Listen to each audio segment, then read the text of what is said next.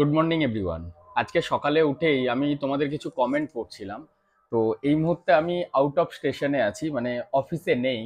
তো কমেন্টগুলি পড়ে আমার মনে হলো যে, না, সকালে তোমাদের জন্য কিছু আপডেট একটা দেওয়া প্রয়োজন। প্রথমত যারা এই জেক্সপো এবং ভোকলেট নিয়ে বেশ চিন্তার মধ্যে আছো, তাদের কিছু কমেন্ট এখানে রয়েছে যে, আমরা প্রথম একটা কমেন্ট করেছে যে, আমি দশ দিন হয়ে গেল স্যার অ্যাপ্লিকেশন করে দিয়েছি। কিন্তু এখনও পর্যন্ত আমার যে অ্যাপ্লিকেশনের স্টেটাস সেটা পেন্ডিং দেখাচ্ছে। এটা সলিউশন কি আছে? দ্বিতীয় হচ্ছে যে স্যার দু হাজার চব্বিশেই পরীক্ষা দিচ্ছি। এখন আবেদন কি করে করব? আমি তো করতে পারছি না টোটাল নাম্বারটা দিতে পারছি না। প্রথমেই দুটো প্রশ্নের উত্তর দিই।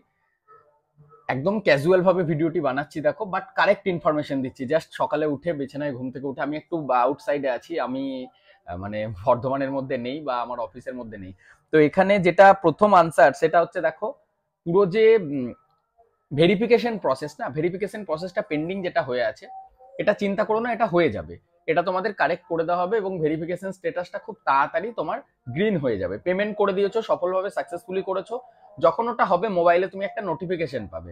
আর হাতে অনেকটা টাইম আছে, কারিগরি ভবনের তরফ থেকে যেটা এখন মেন ইস্যু হয়ে দাঁড়িয়েছে, যারা এই দু হাজার চব্বিশে আরেকজনের কমেন্টে আনসারটা পেয়ে যাচ্ছি। দু হাজার চব্বিশে যারা মাধ্যমিক পরীক্ষা দিচ্ছে, তারা টোটাল নাম্বারটা কোথা থেকে পাবে? যে নাম্বারটা তারা পেয়েছে, সেই টোটাল নাম্বারটা পাচ্ছে না। তো তার কারণে কিন্তু তারা এখন যে অনলাইনে আবেদন সেটা করতে পারছে না। জাস্ট অ্যাপ্লিকেশন প্রসেসটা করে রাখতে হচ্ছে। অ্যাপ্লিকেশন প্রসেসের রেজিস্ট্রেশন ফার্স্ট পার্টটা করতে হচ্ছে। তো তোমরা, আমরা এটা নিয়ে অলরেডি কথা বলেছি এবং যেটা আমাদের কাছে এসে বা আমার কাছে ব্যক্তিগতভাবে তথ্য এসে পৌঁছেছে সেটা হচ্ছে কারিগরি ভবন কিছুটা সময় নিচ্ছে এই পোর্টালটাকে নতুনভাবে আপডেট করার। সামনের উইকে আশা করছি নতুন কিছু তথ্য পেতে পারি। আর ততদিন যদি নতুন তথ্য না আসে, তো ওয়েট করে যাও। রেজাল্ট যখন চলে আসবে রেজাল্ট আসার পর কিন্তু তোমরা আবেদন করতে পারবে। টাইম এখন এনাফ টাইম আছে, সেটা নিয়ে চিন্তা নেই। থার্ড একটা খুব গুরুত্বপূর্ণ প্রশ্ন এখানে করেছে, সেটা হচ্ছে যে, স্যার, আমার কাছে টিএফডাব্লিউ সার্টিফিকেট নেই, কিন্তু আমি টিএফডাব্লিউটা ইয়েস করে দিয়েছি। এখন তাহলে সলিউশন কি আছে? টিএফডাব্লিউ সার্টিফিকেট ছিল না বাট ভুল করে আমি ইয়েস করে দিয়েছি। TFW tuition fee waiver quota এই টিএফডাব্লিউর একটা নির্দিষ্ট সার্টিফিকেট হয়। সেই সার্টিফিকেট তোমার কাছে এখন নেই বর্তমানে বাট তুমি ইয়েস করে দিয়েছ। চিন্তার কারণ নেই। যখন কাউন্সিলিং হয়, সেই কাউন্সিলিং এর সময় আবার তোমাকে চয়েস ফিলিং এর সময় একটা এডিটের অপশন আসে। আদারওয়াইজ তুমি জাস্ট টিএফডাব্লিউ অপশনের সিটগুলিকে সিলেক্ট না করে টিএফডাব্লিউ সার্টিফিকেট যদি তুমি দেখাতে না পারো, তখন তোমাকে জেনারেল ক্যান্ডিডেট হিসাবে কাউন্ট করা হবে। কোনো চিন্তা নেই, এতে তোমার রেজিস্ট্রেশন ক্যান্সেল হয়ে যাবে বা কলেজে ভর্তি হতে পারবে না, এটা কোনো ম্যাটার নাই। শুধুমাত্র দেখো টিএফডাব্লিউটা হচ্ছে একটা রিজার্ভেশন ক্যাটাগরি সুবিধা। সেই রিজার্ভেশন ক্যাটাগরি সুবিধাটা যদি তোমরা নিতে চাও, তখন তোমাকে টিএফডাব্লিউ সার্টিফিকেটটা দিতে হবে। তোমার কাছে ছিল না, কিন্তু তুমি ইয়েস করে দিয়েছ। তো এখন চিন্তার কোনো ব্যাপার নেই, তুমি ওটা করতে পারবে। যখন তোমার কাউন্সিলিং হবে কাউন্সিলিং এর টাইম তুমি জাস্ট টিএফডাব্লিউ সিটটা না সিলেক্ট করলে হবে টিএফডাব্লিউ সুবিধা। যদি কোনো কারণে টিএফডাব্লিউ সিট পেয়েও যাও, যখন ডকুমেন্টস ভেরিফিকেশনে যাবে, তখন তোমার সেই সিটটা ক্যান্সেল করে তোমার আপডেট করে দেওয়া হয় প্রোফাইলটা অ্যাজ এ জেনারেল ক্যান্ডিডেট হিসাবে। তো জেনারেল ক্যান্ডিডেট হিসাবে যখনই তোমাকে আপডেট করে দেওয়া হবে তখন তুমি জেনারেল স্টুডেন্ট হিসাবে মানে জিএমআর যেটাকে আমরা বলে থাকি জেনারেল স্টুডেন্ট হিসাবে সিট পাবে। শুধু রিজার্ভেশনের সুবিধাটা পাবে না। আর যে টিউশন ফিটা কম হয়, সেটা হতো না। আরেকজন বলেছে এক্স সার্ভিসম্যান এক্স সার্ভিসম্যানটাকেও ইয়েস করে দিয়েছে। ওনার বাবা আর্মিতে আগে জব করতেন, এখন রিটায়ার্ড আর্মি তো সেক্ষেত্রে ইস্যু হবে না। কিন্তু এক্স সার্ভিসম্যানটা তাদের ক্ষেত্রে এক্স সার্ভিসম্যান সন যদি হয়ে থাকে, তো এক্ষেত্রে তুমি তো এক্স সার্ভিসম্যান নও। বিষয়টা বোঝো, তোমার বাবা ছিলেন। তো এটা একটু ইস্যু হতে পারে বাট তোমার ক্ষেত্রেও সেম প্রসেস যখন তুমি অ্যাপ্লাই তখন করে দিয়েছ করে দিয়েছ, কোনো ম্যাটার নেই। যখন কাউন্সিলিং হবে, সেই টাইমটা সঠিকভাবে বা ডকুমেন্টস দেওয়ার যে ম্যাটারটা থাকে সেটা। একটা খুব গুরুত্বপূর্ণ পয়েন্ট ইডব্লিউএস ইডব্লিউএসটা ইয়েস করেছি। ইডব্লিউএস এর, এরপর বলে দিচ্ছি ইডব্লিউএস সার্টিফিকেট অ্যাপ্লিকেবল হবে ওয়েস্ট বেঙ্গলে মাত্র একটা কলেজ আছে। সেই কলেজটা হচ্ছে গানি খান চৌধুরী ইঞ্জিনিয়ারিং কলেজ এটা মালদাতে অবস্থিত সেন্ট্রাল গভর্নমেন্টের একটা কলেজ জেক্সপো দিয়ে বলো বা ভোকলেট দিয়ে বলো, যদি তুমি ইডব্লিউএস এর সুবিধা নিতে চাও, শুধুমাত্র এই গানি খান চৌধুরী যে ইঞ্জিনিয়ারিং কলেজ আছে পলিটেকনিকটা এখানেও হয়ে থাকে, সেই কলেজে তুমি ইডব্লিউএস এর সুবিধা পাবে। আর ওয়েস্ট বেঙ্গলের কোনো কলেজ নেই যেখানে তোমাকে ইডব্লিউএস দেবে। আশা করছি পুরো বিষয়গুলি বুঝতে পেরেছ। এরপর যেটা প্রশ্ন যে, স্যার কাউন্সিলিংটাকে কীভাবে করব, সেটা একটা ভিডিও দিন। কি করে করব বলে দিন, যাতে সরকারি কলেজ পাই। একটা কলেজ আছে ধরো পাঁচটা ডিপার্টমেন্ট তোমাকে অফার করছে সিভিল মেকানিক্যাল ইলেকট্রিক্যাল এইভাবে। তুমি চাইলে সেই কলেজের পাঁচটা ডিপার্টমেন্টকেই সিলেক্ট করতে পারো। তুমি পেয়েছ তিনশো আশি, একজন পেয়েছে চারশো নব্বই। সে সিলেক্ট করল মাত্র একটা কলেজ, কিন্তু সেই কলেজে চারশো নব্বইয়ের থেকে বেশি নাম্বার যে পেয়েছে, সেই একই স্টুডেন্টরা ওই কলেজে আবেদন করল।